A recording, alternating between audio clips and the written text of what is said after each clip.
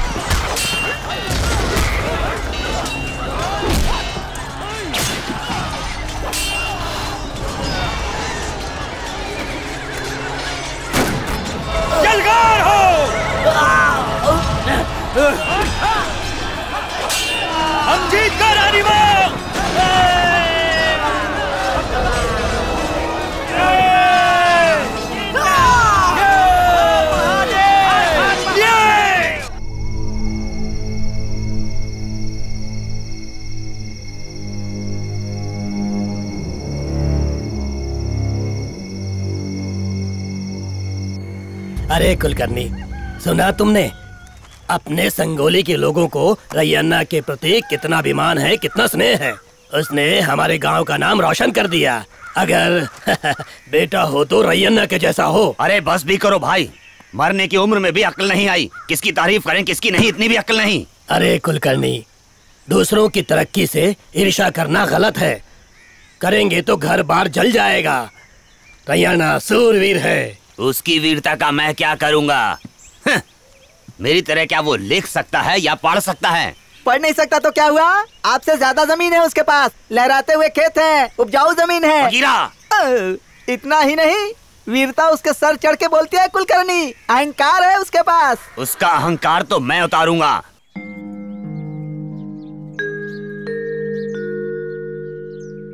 सुनिए जी आपने एक दिन एक बात कही थी।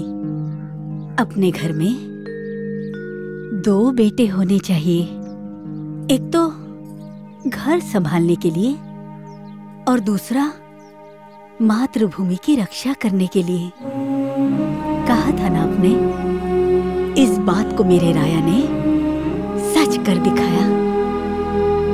सच कर दिखाया।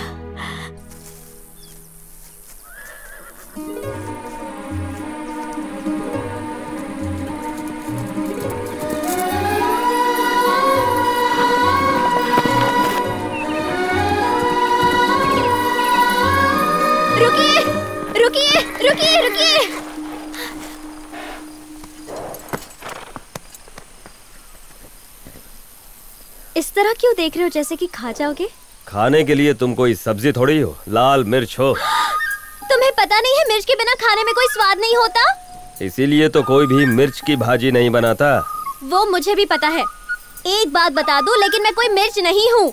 खाने में अचार हूँ स्वाद के लिए नींबू हूँ दिखने में और टमाटर हो सताने में करेला मनाने के लिए गोभी का फूल रूठने के लिए खट्टी इमली खड़ी रहो तो लौकी बैठ जाओ तो कद्दू उठ गई तो गाजर बैठ गई तो भिंडी हो। उतना ही नहीं जी। शादी करने वाले पति के लिए ठंडा खीरा हूँ। और सताने वाले गुंडे के लिए तीखी कटारी हूँ। अब एक काम कर अपनी सब्ज़ी मंडी बंद कर। जब भी आता हूँ इधर उधर की बातें करके वक्त जाया क्यों करती है मेरी कच्ची केरी? उइमा उइमा उइमा कितना प्यारा बात करता है मेरा राजा। आज मैं बहुत खुश हूँ।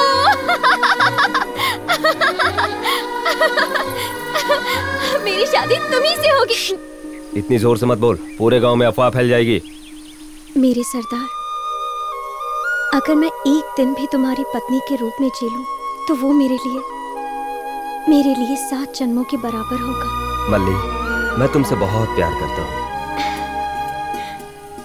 मल्ली? ए मल्ली! क्या हुआ? दिन में सपना देख रही हो क्या? मेरे सपने में राया आया था।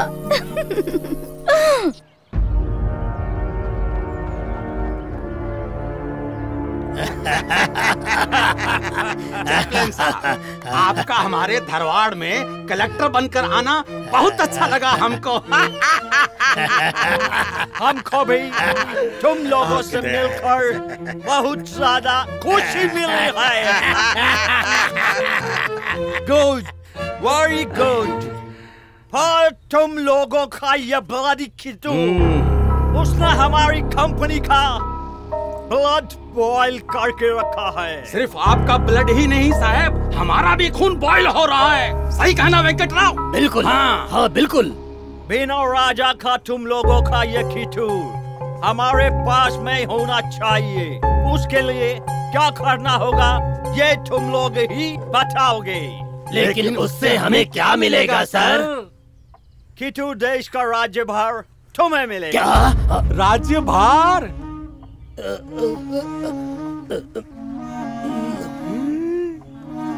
नो नो डाउट बिल्कुल मत करो। ये चैपलिन हमेशा ही सच बोलता है झूठ नहीं बोलता। देवा अब मन को शांति मिल गई। वादा कीजिए प्रॉमिस आपने पिछले युद्ध में हमारे अधिकारियों को बंदी बनाकर अपनी आत्मरक्षा करके और कित्तूर की सुरक्षा कर रहे हैं। बिना कारण हम अपने लोगों का खून बहाना नहीं चाहते।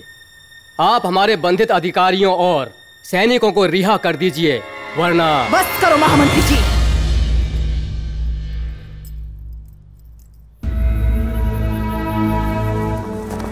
चलो चलो। चलो। युद्ध में बंदी अंग्रेज़ अधिकारियों। और सैनिकों को सामने रखकर आत्मरक्षण और कित्तूर का संरक्षण करने के लिए हम कन्नड़ी कन्नडिगा कोई कायर नहीं है। रण योद्धा है हम।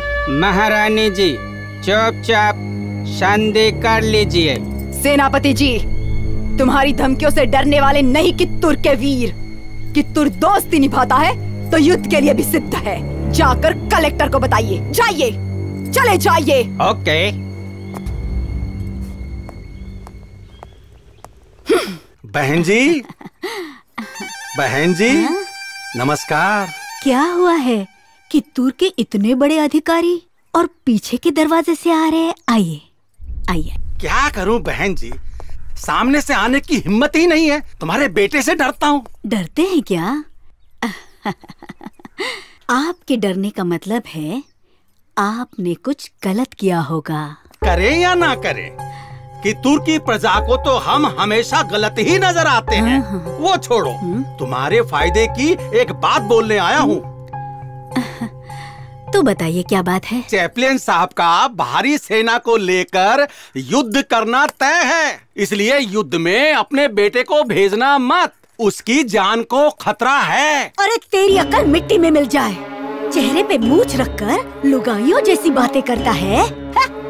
अरे तेरी फालतू बातों से डरकर अपने बेटे रायण्णा को बुजदिल बनाकर अपने घर में बिठाऊ है?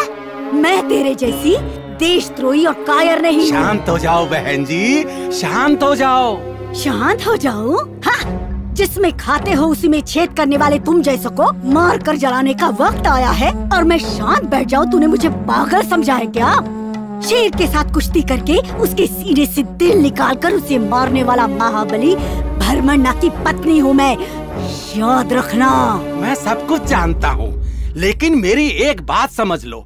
चैपलिन साहब की बात मानोगी तो तेरे बेटे को अपने बेटे की तरह मानेंगे बहन।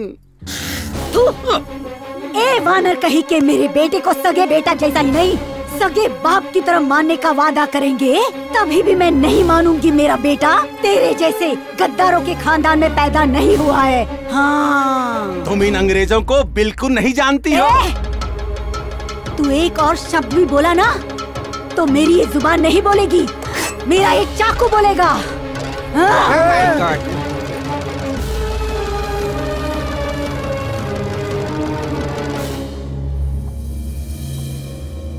इस बार के युद्ध में हमें कितूर को हर हाल में अपने वश में कहा से भी करना ही होगा। वो काम आप हम पर छोड़ दो साहब। कित्तूर के किले का शिव बसपा नाम का एक सिपाही अपना ही आदमी है। उसके साथ मानतवा नाम की एक औरत भी है।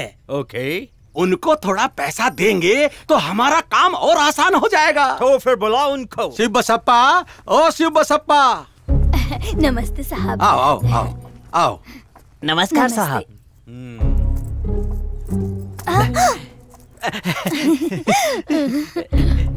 इन्होंने समझा दिया है। आपका काम हो जाएगा साहब। ओके